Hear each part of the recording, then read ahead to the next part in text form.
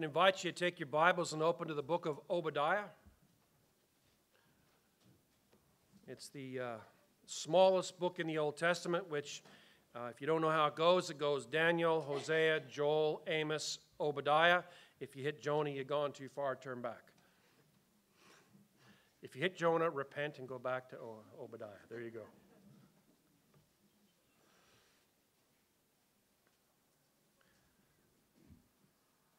I was uh, asked to preach at Village Church last week. As some of you may know, Rod Hole has been uh, quite sick, and uh, he'd taken a month off and got sick and is still sick, I think, last I heard.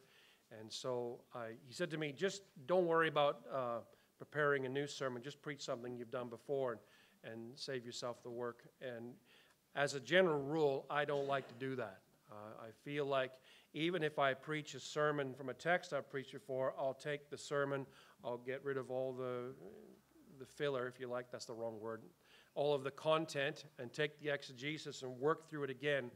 Because the simple reality is, as we grow up in the Lord, we learn new things. And a sermon that I wrote three years ago, I've learned a whole bunch about the Lord in the last three years. And things that I would have said that way back then, I might say differently now. And I might understand something better now than I did back then. So I don't like to just repeat things. And so I, I went from one sermon to another, following Rod's advice, and nothing hit me. And then as I started to pray about it, which should have been my first step, I admit it fully, uh, the Lord laid the book of Obadiah, the name Obadiah just came to mind almost immediately. And I went back to the book of Obadiah. And you know, when you go to a church to preach and you're invited, you, generally want to speak something that's quite uplifting and encouraging and uh, joy inducing and so on. And you read the book of Obadiah, and it seems to be none of that. It just seems to be very hard and it's a very heavy book at times. And so as I worked my way through it, I realized how much I had to say, not so much to Village Church, maybe, but certainly to me. Has to deal with the issue of pride is probably one of the biggest themes in the book. Uh, not a major theme, but it's certainly one of the biggest secondary themes in the book. And I finished that, and in the course of the week, our friend Andy had passed away, and we knew we had a funeral to go to. Um, uh, we were very privileged to go to Sebastian and Azaniah's wedding. I got to conduct part of the service, and it was a beautiful service. Met some lovely Christian people, including uh, Sebastian's family. And then I needed to go to uh, Portland on Thursday and spend some time with Cameron. And so my week just kind of went away. And as I was thinking about that and thinking about the message and how much it hit me, I thought, you know, I think it's something that we need to hear as well. And so, again, I opened my notes and I went back through and I took things out and I reworked some things and added some things the Lord laid on my heart between now and then. And you know, sometimes as a pastor and a preacher, you're looking for confirmation. Lord, is, is this really what you would have me to preach on Sunday morning for your people? And uh, yesterday, I just happened to be printing out, working on the paperwork for this morning. We have all kinds of notes and stuff up here for people who are reading. And I saw the reading Wes was going to do and it was all about God's judgment on people. And it was like, yep, that fits perfectly with Obadiah. And yesterday afternoon, I picked up a book I have on, on pastoral ministry, and Joel Beeke was writing a section of the book. Uh, he's an expert on the Puritans, and he was talking about the Puritan ministers, and one of their biggest things was defeating pride.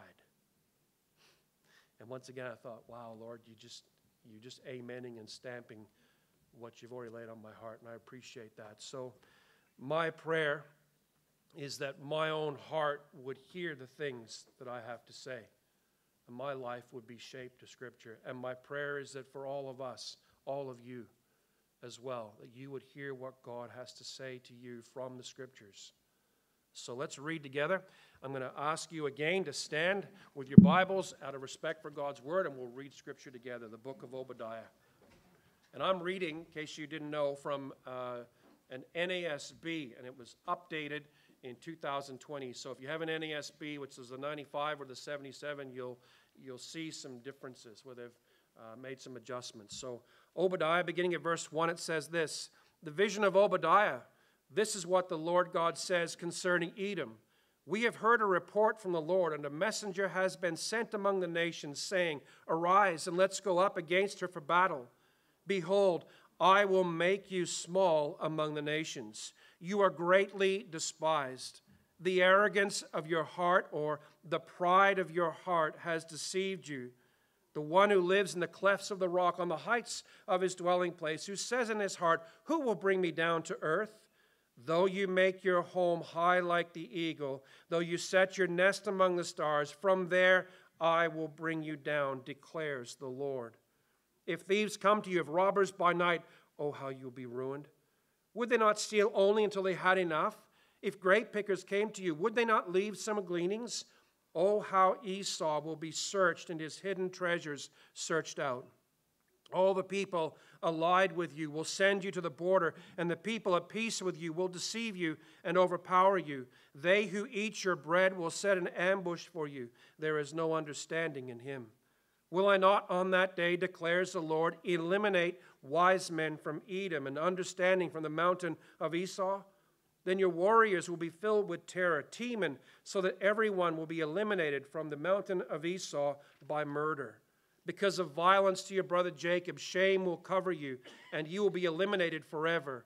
On that day that you stood aloof, on the day that strangers carried off his wealth and foreigners entered his gates and cast lots for Jerusalem, you too were as one of them. Do not gloat over your brother's day, the day of his misfortune. And do not rejoice over the sons of Judah on the day of their destruction. Yes, do not boast on the day of their distress. Do not enter the gate of my people on the day of their disaster. Yes, indeed, or sorry, you indeed, do not gloat over their catastrophe on the day of their disaster, and do not lay a hand on their wealth on the day of their disaster. Do not stand at the crossroads to eliminate their survivors, and do not hand over the refugees on the day of their distress. For the day of the Lord is near for all the nations. Just as you have done it, it will be done to you. Your dealings will return on your own head. For just as you drank on my holy mountain, all the nations will drink continually. They will drink to the last drop and become as if they had never existed. But on Mount Zion there will be those who escape, and it will be holy, and the house of Jacob will possess their property. And the house of Jacob will be a fire, and the house of Joseph a flame. But the house of Esau will be like stubble, and they will set them on fire and consume them, so that there will be no survivor of the house of Esau. For the Lord has spoken, then those of the Negev will possess the mountain of Esau, and those of Shephelah the Philistine plain. Also, they will possess the territory of Ephraim, the territory of Samaria, and Benjamin, the territory of Gilead, and the exiles of this army of the sons of Israel who are among the Canaanites as far as Zarephath, and the exiles of Jerusalem who are in Sepharad will possess the cities of the Negev. The deliverers will ascend Mount Zion to judge the mountain of Esau, and the kingdom will be the Lord's. Loving Father, again, as we have opened and read your scriptures, Father, we pray yet again that you would speak to us, that we would have ears to hear and hearts to obey and submit to your word. Father, help us as we would hear a difficult word. And we ask it in Jesus' name. Amen. Please have a seat. Sometimes life just doesn't seem fair, does it? Injustice seems to be everywhere that we look a heinous, vicious crime is committed and people are hurt. The guilty go free on a technicality or some slick legal maneuvering, and we watch and we cry out, That's wrong, that's unfair, that's unjust. Lives are ruined by all sorts of violence physical, sexual, emotional. And the guilty suffer little, if any, punishment, and we cry out, That's injustice. At times, it seems the laws of our land are more interested in protecting criminals and punishing the victims. And again, we cry out, that's not right. It's unjust. For the Judahites, the time of Obadiah's writing, Edom's actions, unjust actions, would have added insult to injury. To understand it, we need to survey a bit of Old Testament history. And if you go back in your Bible, you'll see in 927 BC, that Israel had been divided into two kingdoms the northern kingdom of Israel and the southern kingdom of Judah. Both kingdoms have been unfaithful to the Lord their God over their history, and God's patience for the northern kingdom of Israel had ended, and they were invaded and conquered and exiled in approximately 724 725 BC. And God's patience had then ended also for Judah, and they were invaded and conquered, and Jerusalem and the temple were destroyed by Nebuchadnezzar and the Babylonians in 586 BC. And during that final devastating events, the Edomites, the neighboring brother nation to the Judahites, had gloated and boasted and watched with amusement and taken advantage of the situation for their own profit and their own gain. They'd even waited for fleeing fugitives to hinder them and kill them. And it seemed as if the Edomites would just get away with it. It was injustice. But then Obadiah's vision comes and it's proclaimed to the Judahites, both the remnants in Israel, uh, sorry, in, in Jerusalem and the exiles in Babylon. And there was indeed hope because God's, God's justice was surely coming against Edom. And beyond that, God's justice would certainly come against all the peoples and all the nations. And we see that in what Wes read this morning, and we'll see it in our text. Every sin, Every wrong, every crime, every injustice committed will be perfectly and justly dealt with by the highest court in all of existence, the living God who will serve as prosecutor and defender and judge.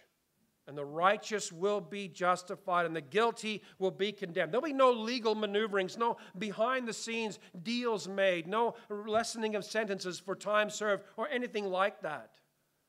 God will act as prosecutor and defender and judge. And Obadiah was written not just for them, but it was written for us as well.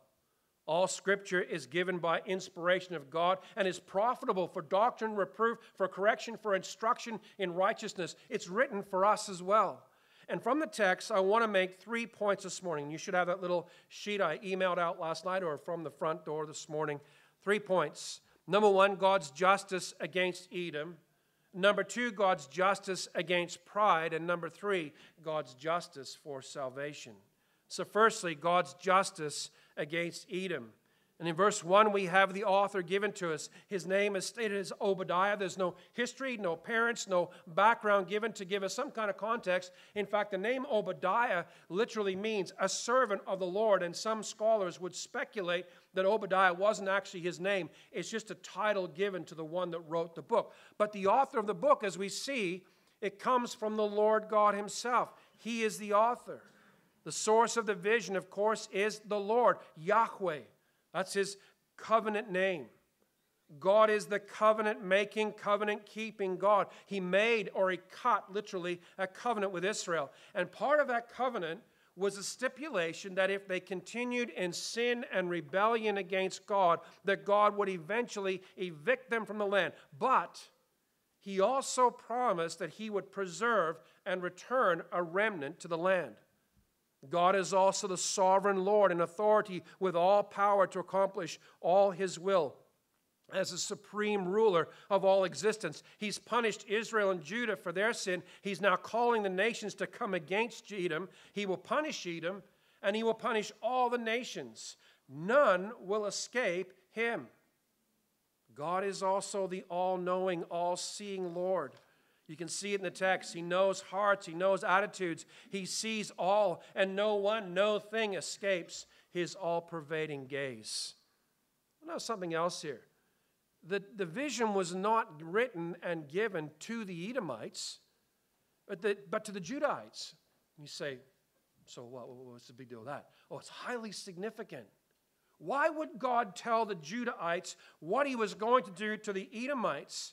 It helps us to understand that the vision's main purpose is to give the Judahites hope. Not only of repossessing the land, which comes up in verses 19 and 20, but also that justice will prevail against their oppressors. Obadiah serves to give all believers hope of God's justice. The righteous will be justified by God through Christ, and the wicked will be condemned by God. I want you to remember also the history of Edom and Israel. It's a tale of two brothers. Two brothers that are at war with each other, and we just kind of smile and shake our heads because it's nothing new, right? I mean, the very first two brothers that were existence, Cain and Abel, what happened? One killed the other one. There was jealousy there. There's Ishmael and Isaac. The older laughed and mocked the younger, so Abraham, their father, drove Ishmael and Hagar away, and they have been at war ever since. The Arab nations and Israel.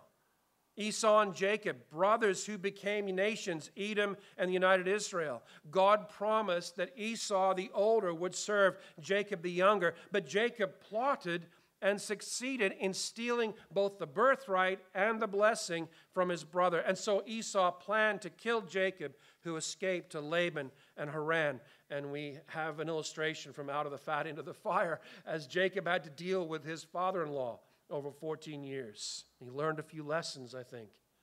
And while Jacob was there building a great family, God sovereignly gave the land of Seir to Esau and Edom.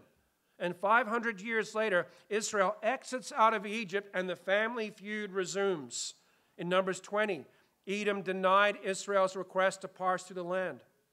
In 1 Samuel 14, King Saul and Israel fought against Edom. In 2 Samuel 8, King David and Israel fought and conquered Edom.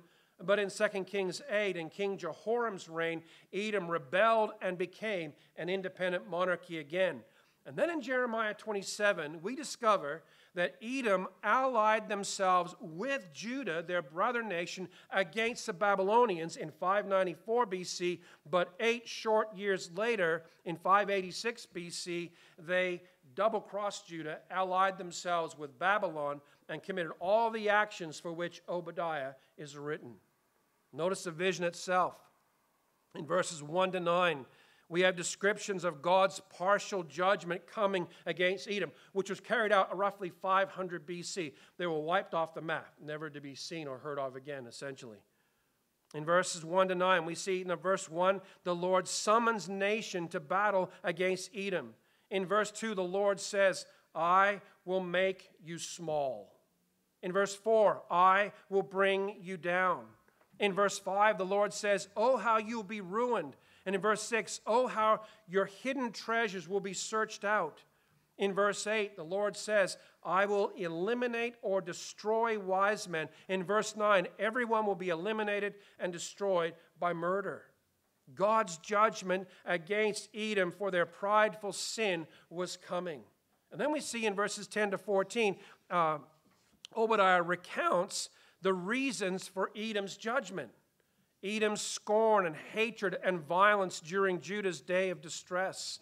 Notice verse 10, he says, It's because of violence done to your brother. In verse 11, they stood aloof. In other words, they stood back with their arms folded and just kind of looked down from their high mountain place. And I think they kind of nudged and smiled and scoffed as Jerusalem was burning.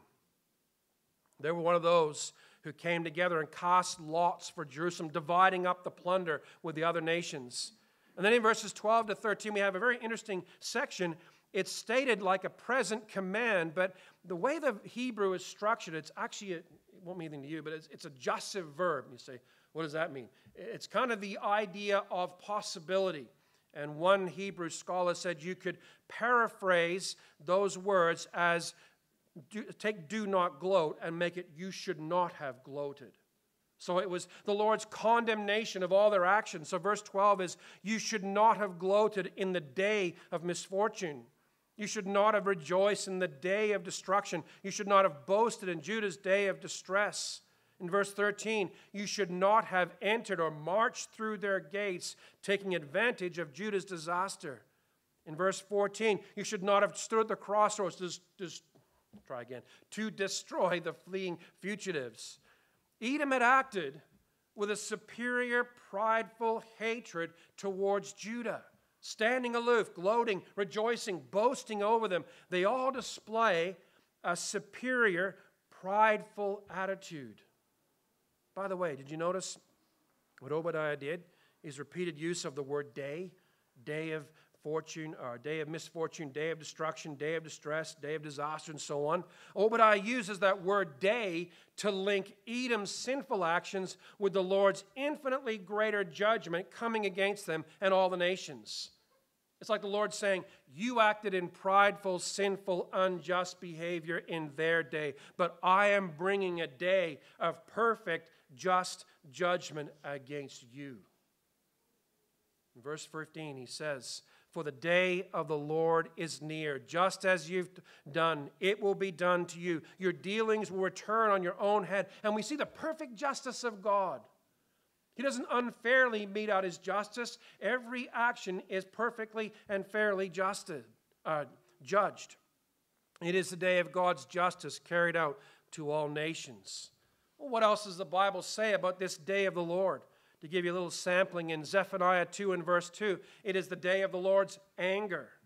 In Joel 3, verses 14 to 21, it's a climactic future judgment of the whole world the Bible describes it as a day of gloom and darkness and judgment, accompanied by celestial signs in the heavens. And in 1 Corinthians 1 and verse 8, it's called the day of our Lord Jesus Christ. It's the day of God's judgment on all nations. That's a hard little piece of biblical truth. God is going, it's a hard one, but it gives us hope. And we'll see why. God will gather every person ever conceived, and God will judge them by separating all humanity into two groups the saved, those who are called and justified and sanctified and glorified by God, and the lost, those who are defiant and rebellious and refusing to believe in God, refusing to obey His command to repent and believe. For the saved, for those of us who know and love the Lord Jesus Christ, it's our hope of the realization of the full salvation. We know what it is, right? To be saved.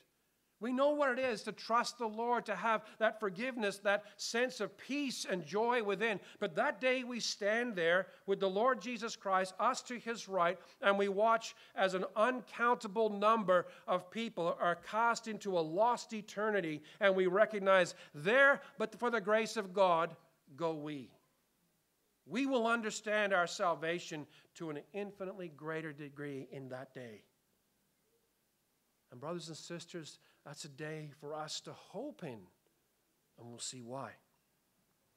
For the lost, it is a day of eternal destruction and condemnation in hell. It is what Romans 1 talks about that God's wrath against all ungodliness and unrighteousness of men who suppress the truth in unrighteousness. That day is coming and it will finally fall. So, to summarize it, God conveyed his vision to Obadiah to give the Judahites a hope of God's justice against Edom for their hatred of the Judahites. And God is bringing perfect justice, not just against Edom, but on all the nations for all the injustices ever committed. Take a moment to stop and think about that. Every single injustice ever committed will be put right. Every wrong ever done to us and every wrong we've ever committed will be dealt with fully and perfectly and fairly. So we look back at some of those events I began with, the injustices that we see in our world, and we wonder what's going on. I've been reading um, at Marcel Enriquez uh, gave me a book about uh, Richard Wurmbrand. I've been reading his story a little bit. It's hard to read. It, it's literally a blood-soaked book. He tells a story of a pastor who was taken and arrested, and they brought him in, and they, and they were beating him and telling him, asking him to give them the names of other Christian leaders in the church around where they were, and the pastor refused. And one day he heard a scrabbling and scuffling and marching of feet down the hallway, and the key in the lock turned, and the door flew open, and they dragged his son in, young man. And they tied him by his hands and hung him from the ceiling, and they began to beat him.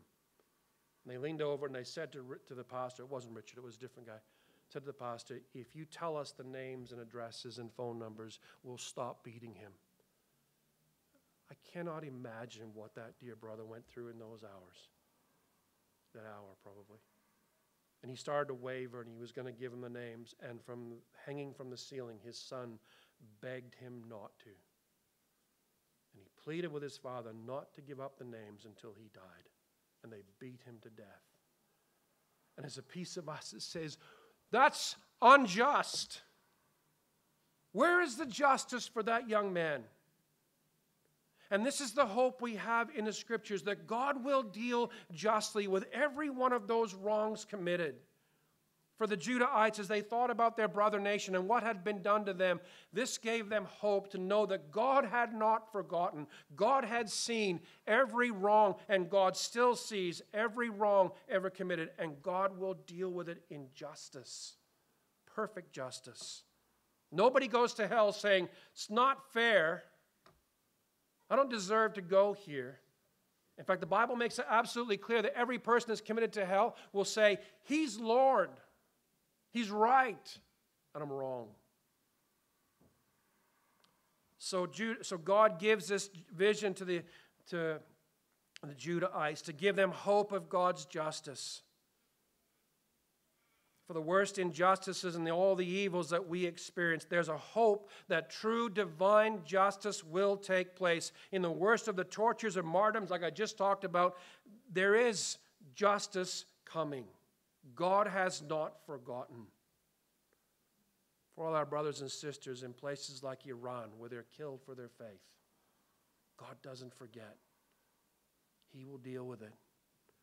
So, the main message of the book is God's judgment of Edom for their prideful hatred, and God will judge all nations for their prideful sin against him. But there's a secondary message, which is my second main point, and it's kind of the main point of the whole sermon, really God's justice against pride. And here's where it got really uncomfortable studying this, because I realized how all pervading pride is. You can see Edom's pride described in verses 2 through 9. There's a pride that deceives into a false sense of security. In verses 3 and 4, the arrogance or the pride of your heart has deceived you. They assumed their rocky mountain terrain would protect them from any and all attackers. Beware, friend, if you think you can escape God's judgment. You cannot. God says, though you set yourself not just in the mountain heights, but if you set yourself as high as the stars are above the earth, I will bring you down. The Lord our God is the infinite, all powerful God, and none can escape, escape his justice and his judgment of pride. There's pride in material possessions. In verse 6, Edom had accumulated treasures in its secure mountain fortresses. But God says Edom's treasure will be searched out. God, the sovereign, all knowing, all seeing God, knows every secret treasure, physical and otherwise. God sees us in every place we go, in everything we do. We cannot escape his gaze. And God will expose every secret thing, for God judges our pride. There's pride and accumulated wisdom and understanding. In verse 8, God says, Your wisdom and understanding will be destroyed. In verse 7b, the people at peace with you, your allies will deceive you. In the day of God's judgment, their wisdom is removed and they're deceived and fooled by their own allies. Sound familiar? Just as they had double crossed the Judahites and sided with the Babylonians, so their allies will turn against them God deals in justice. There's pride in their strength and their might. In verse 9, God says, The mighty men, their warriors, renowned warriors, will be filled with terror, no longer a mighty fighting force. As wisdom and understanding are destroyed, their confidence to fight is removed. And pride is judged, and military might is terrorized. God judges our pride. There's pride that leads to gloating and boasting and rejoicing in Judah's destruction and downfall. Those attitudes all display a prideful, superior attitude, but God judges pride. And we can all see from the text what the Bible says that pride leads to destruction. Obadiah serves as a great warning for us all of the danger of pride. We're all prone to it. We all struggle with the sin of pride. The sad reality is some struggle less and so pride gains a foothold. Dr. Joel Beeke summarized the Puritans' understanding of pride like this. He said, Pride, he was compiling quotes of theirs, sorry. Pride is a devastating sin and is complex. Most sins turn us away from God, but pride directly attacks God. It lifts us up above and against God, seeking to dethrone Him by enthroning ourselves. This is what Spurgeon said.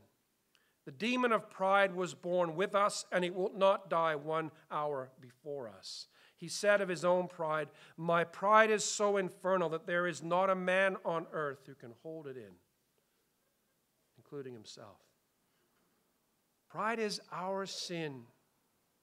Our attitude of heart and spirit against God. Pride is one of six things that God hates in Proverbs 6 16 to 17.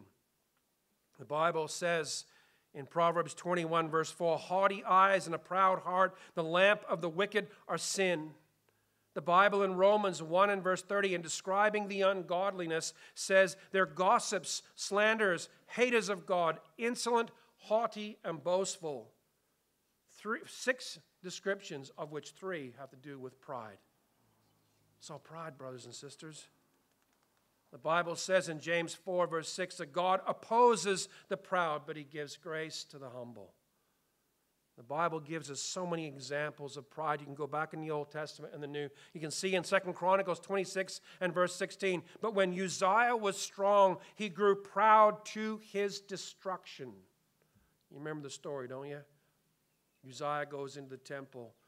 He's proud man. He's going to take the place of the priest. He will offer the offering on the incense altar. He goes in there and he starts to do his thing. And the priest, What are you doing? And they rush in against him and they say, No, Uzziah, it is not for you. And he turns around. The Bible has the idea in a, in a rage. He stretched out his hand against the priest. And as he stretched it out, you know what God did?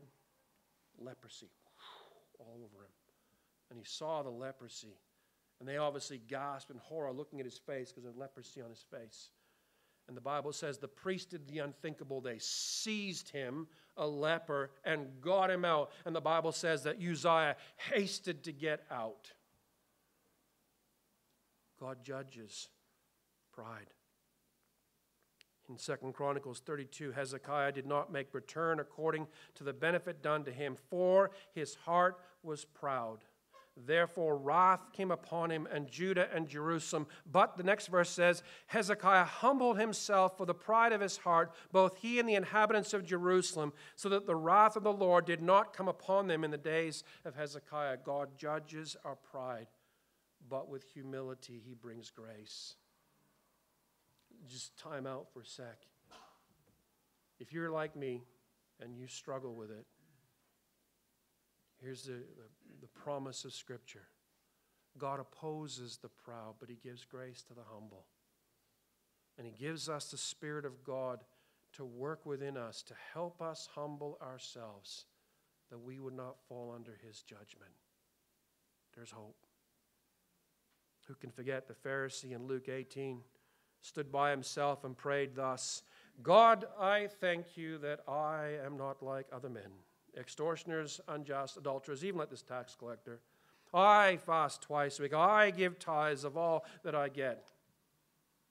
And the tax collector, standing far off, would not even lift up his eyes, but he beat his breast and said, God be merciful to me, a sinner. I tell you, this man went down to his house justified rather than the other. For everyone, the Bible says, who exalts himself will be humbled, and the one who humbles himself will be exalted. God judges spiritual pride, but he exalts those who humble themselves. Pride is at the root of all other forms of sin and evil. Brace yourself. This is tough. Pride leads to self deception. In Obadiah 1, verse 3, the pride of our heart deceives us. In Galatians 6, verse 3, if anyone thinks he is something when he is nothing, he deceives himself. And pride leads to spiritual blindness. In Deuteronomy 8:14, Moses warned the people, "When you begin to accumulate wealth and your heart be lifted up. That's the idea of pride. And you forget the Lord your God who brought you out of the land of Egypt, out of the house of slavery. All the works of God that God had done for them. And they arrive in a land with uh, houses they didn't build, fields they didn't plant, vineyards they didn't plant, all of that, and they got all of it, and their heart began to lift them up. It was pride. Moses says, Watch out. He repeats it over and over again in Deuteronomy Beware lest you forget the Lord your God. And pride causes us to forget that God has given us all that we have and all we enjoy. Pride will not, it cannot remain internal. Pride infects our speech, it infects the way we look at each other, it affects how we behave toward one another. Pride from a wicked heart produces evil intentions and actions. In Psalm 119 and verse 85, the Bible says, The insolent, the proud have dug pitfalls for me, they do not live according to your law. Pride and obedience go directly opposed to each other. Believe it or not, young mom, young dad, when your little guy, little girl, stamps her little foot or his little foot and says, I won't, no, you can't make me, they are exercising pride against God and against you who represent God in that moment. That's why it's so critical that we discipline our young people, our little ones, that they learn to walk in obedience to you and to God. Pride leads to quarreling in Proverbs 13:10. By insolence or pride comes nothing but strife. Pride leads to violence. In Psalm 73 and verse 6, therefore pride is their necklace, violence covers them as a garment. In the book of Esther, remember wicked Haman? He was filled with rage because Mordecai the Jew would not bow down to him. And so he plotted not just the downfall of Mordecai, but the entire Jewish people. One man won't die, I'll wipe him out. One man won't bow, I'll wipe them all out. I know the story. Pride lifted him right up, right up to the heights of his gallows and dropped him. And he suffered God's judgment. Pride leads to contempt. In Psalm 123 and verse 4, a disrespect or a disregard for others. We act rudely, dismissively, arrogantly, mocking the other person's words or actions. There's a disregard for them and a total lack of respects. And I say that, my own words come roaring back at me. You've done that. How often have we done that toward one another? Paul warned us in 1 Corinthians 8 knowledge puffs up. That's the idea of pride, but love edifies, builds the other up. Oh, brother and sister, please, I beg us all beware the sin of pride. Pride ultimately leads to contempt for God Himself. In Psalm 10 and verse 4, the Bible says, In the pride of his face, the wicked does not seek him. All his thoughts are, There is no God. An utter lack of respect and regard, even to recognize God's creation and existence and government and involvement in his world. It's pride. Oh, brothers and sisters, I'll say it again because it, it needs to be repeated over and over again. Beware the sin of pride. I know how susceptible I am to it. I know how susceptible we all are to the sin of pride. The hideful behavior in a home or a workplace will tear them apart. Pride taking root in a church will tear the church apart. And one of the most subtle forms of pride is spiritual pride. And because it's so subtle, it's deadly dangerous. It's pride in the church that begins to think to itself, hey, we're better than everybody else. Well, you know, at least we don't act and behave like those other Christians. We would never do what that church does. Hey, listen, let me tell you, we around here, we know the truth. It's pride brothers and sisters. To take that one point, and I think it was Wes who said it a few minutes ago not one thing do we have that God did not give us. Every single bit of understanding of biblical truth is a gift of God. You are not, we are not smarter than everybody else because we understand certain things. It's God's grace, it's God's kindness to give us a Bible and to give us tools to understand that Bible. That's God's grace. And spiritual pride rears up its ugly head against God and says, I did it. No, we didn't. God gave it to us. But where God is not mocked, God will keep his word. He says, Pride goes before destruction and a haughty spirit before a great fall. And how many Christian leaders have we seen in exactly that moment? Pride has built them up and they've gone tumbling down. Christian, heed well the lesson from Obadiah and the Edomites, a proud, defiant people who deceived themselves into thinking they were untouchable, but God brought them down. Edom, established in the land that God gave them, became proud, thinking they were impregnable, protected behind a high, rugged mountain. But God is infinitely higher. God has judged pride all through history. In Exodus, God's judgment came against Pharaoh for his pride. It came against Uzziah and Hezekiah for their pride. It came against Edom, against Nebuchadnezzar, and against Haman. This is a sample. God's judgment will surely come for us for our pride. But yet, there is hope. There's forgiveness available for those who humble themselves. I got a picture in my mind of Nebuchadnezzar. You remember the story, right? Look at this great Babylon that I have created. Oh, how great is me, kind of thing. And a voice comes from heaven telling him just how great he's not. And he's driven away from men, and his hair grows like feathers, and his fingers like fingernails, and he crawls on all fours, and he eats grass for seven periods of time, whatever that was seven days, weeks, months, years, we don't know. At the end of all of that, and I can, st- I can picture in my mind this man leaning back on his knees, looking up to heaven, and recognizing the God of heaven who gave him everything that he had. In that moment of abject humility before God, God restored him and gave him back his sanity and gave him back his, his dignity. There's forgiveness available for those who humble themselves before God Almighty. There's hope of forgiveness because of God's justice.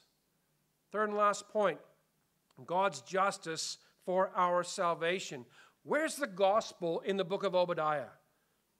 I'm convinced, absolutely convinced, that the whole Old Testament points to Christ over and over and over again. Now, in our text, our passage, these 21 verses, it's not a specific statement, but it is there. Notice verse 17. It kind of stands out by itself because it gives them a very great hope about not just about getting the land back, but about being back in Jerusalem.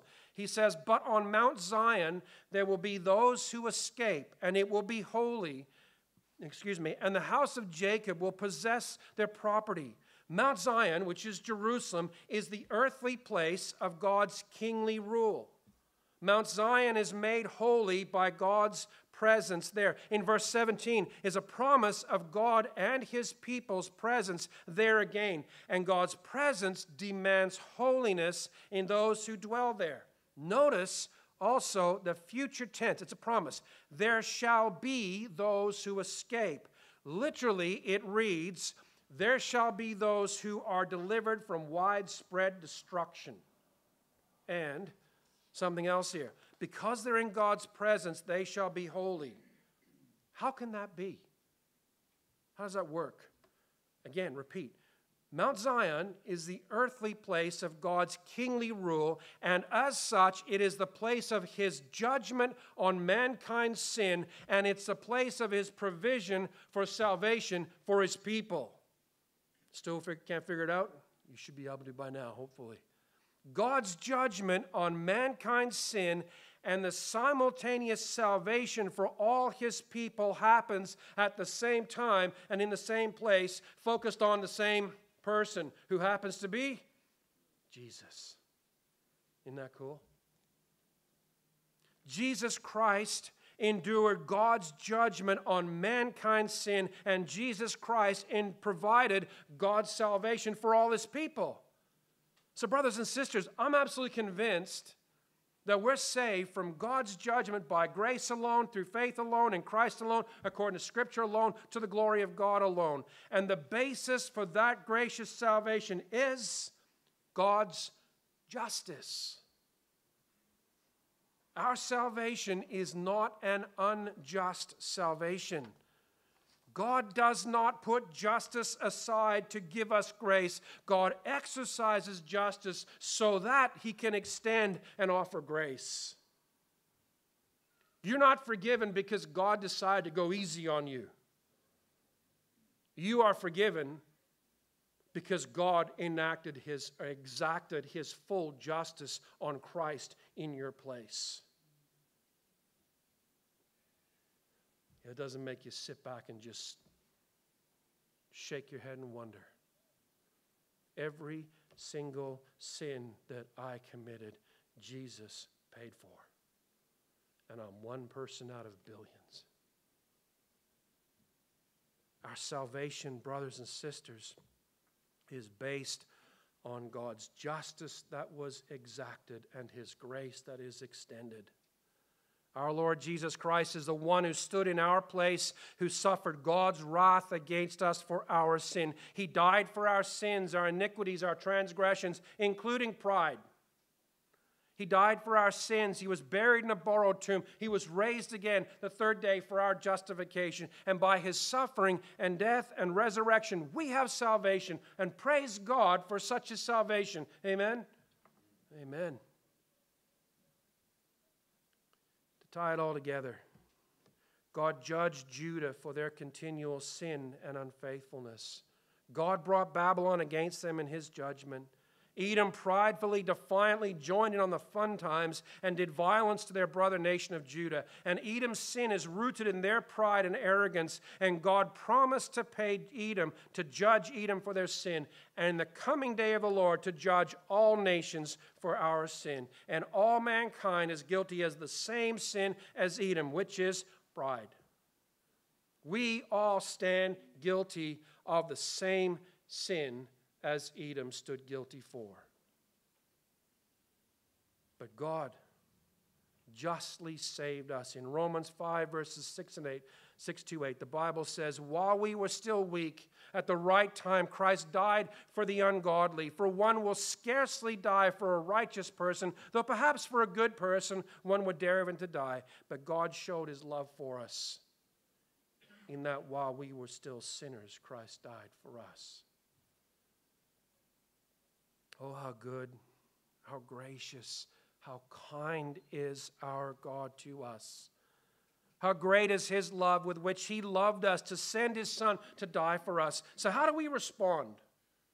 Well, first of all, we remember, don't forget, God opposes the proud, but He gives grace to the humble. So, how do we humble ourselves? What's the secret to overcoming pride? You say, Well, I'll beat myself up regularly. That might help for a little bit. Probably not. How do we defeat pride?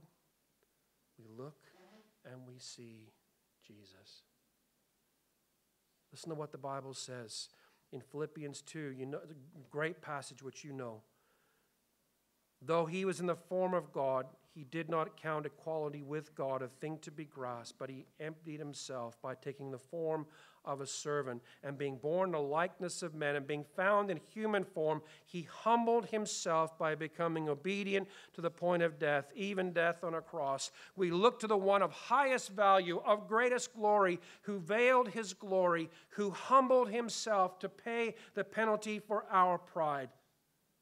I just stop and think about that. Next time you rear up your head in pride and that superior attitude begins to creep in, consider that Christ humbled himself, a condescension that no human being will ever fully comprehend. He humbled himself and became obedient to death, even death on a cross. We look to Christ who obeyed his Father's will, who for the joy set before him endured the cross and despised the shame. We look and see Jesus in the dark hours of Gethsemane, in an agony, wrestling in prayer, knowing what suffering he faced. We look and we see Jesus beaten and bruised, yet silent before his accusers as they lay charge after charge, but they cannot prove any of them. We look and see Jesus bent over a whipping post as a scourge comes crashing down on his back and his shoulders and his legs. We look and we see Jesus staggering under the weight of the crossbeam as he walks the tortuous route to the hill of Calvary. We look and we see Jesus as he suffers and dies on the cross, dying for your sin and for mine. God's justice demanded it. And Jesus Christ, in obedience, in love, for the joy, think of that, for the joy set before him, endured the cross to save us from God's wrath. He died to appease God's anger against us. He died to secure our eternal salvation. He died to reconcile us to God. My dear friends, stand with the women in the chill of the early morning air at the tomb outside of Jerusalem and see him as he rises from the dead, declared to be the Son of God with power. Look by faith and see Jesus. Look and repent of your sin. Turn away from it. Look and cry out to God. Cry for His forgiveness of your sin. Cry to Him for help to live in repentance and obedience. Fasten your eyes on Jesus. Pride begins to rear its ugly head, look to see Jesus. He calls us to come, to walk with Him, walk behind Him, to shoulder the load as He shoulders it, and walk with Him the life, this life of faith. Calls us to turn away from sin and trust in Him. He fills us with His Holy Spirit that helps us, empowers, and enables us to humble ourselves and live by faith in Him. Brothers and sisters, we have a hope, a great hope in God's justice because of God's justice. What a salvation that God has worked. Amen. Amen. Would you stand with me? We're going to pray and then we're going to sing a benediction together.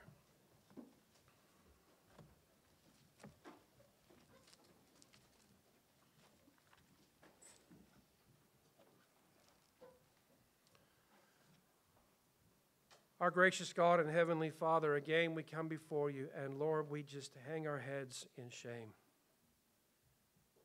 For Father, we know, we know full well the pride of our own hearts. Actually, Lord, we know it to a certain degree. In your grace, you don't allow us to see the full depth of it. But Father, we know for a certainty that pride so easily creeps in. And so quickly, Lord, we begin to rear up our heads and puff out our chests in pride and arrogance. Lord, we recognize what pride can do. We see what the scriptures teach about what pride does. Father, we see the examples of men that you discipline in the Old Testament and judge them for their pride. But Father, we see the great example of men who humbled themselves Father, bring us like Nebuchadnezzar at the end of those seven seasons with his kneeling on the ground, in humility, recognizing that all that he has and has and had is a gift of yours. Father, help us. Father, I plead with you to help us to understand and remember everything we understand of the scriptures, everything we understand of your grace is a gift you have given us and enabled us to understand. Father, I pray, I plead with you, O God, deal with my own heart. Deal with the hearts of all in this room. Please, Lord, do a great work in this church.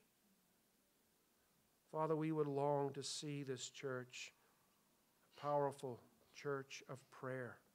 Not powerful in ourselves, but powerful because of what Christ has done and is doing. Father, we ask you for your blessing. We give thanks, O oh God, for this day, for this service. And we ask these things in Jesus' name. Amen.